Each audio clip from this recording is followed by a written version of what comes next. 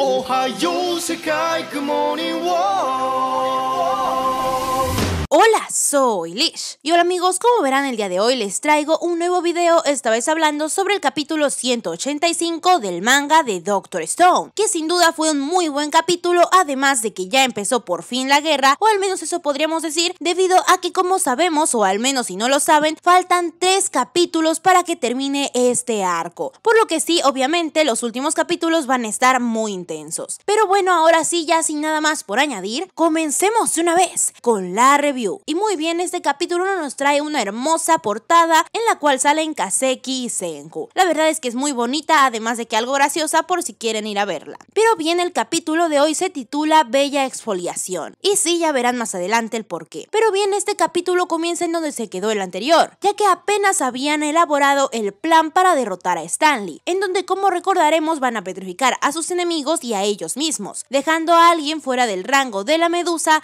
para que así después los pueda despetrificar. Y claramente con este plan podríamos decir que tienen ya la victoria asegurada, aunque obviamente el mayor problema es que logren tener una medusa activa para ese momento. Y como recordaremos anteriormente, Kaseki no había podido ni siquiera lograr abrir una de las medusas, aunque para la actualidad ya lo ha logrado, claramente después de haber cometido varios errores. Y por otro lado, mientras Kaseki se encuentra construyendo, Gen menciona la posibilidad de hacer lo que hizo Joel, el cual es quitar la batería y después volvérsela a poner para que así vuelva a funcionar por un corto periodo de tiempo. Y obviamente Kaseki le contesta que lo ha intentado y que esto no sirve, ya que podríamos decir que la medusa que tenía Joel era más reciente, ya que esta cayó en la isla del Soyuz. Y como recordaremos, estas medusas tendrían que tener millones de años debido a que deberían ser las primeras que cayeron en la Tierra, por lo que tiene mucho sentido que lo que hizo Joel no funcione con estas. Por lo que sí, la única opción que tienen para lograr activar una medusa es crear una nueva batería de diamante con exactamente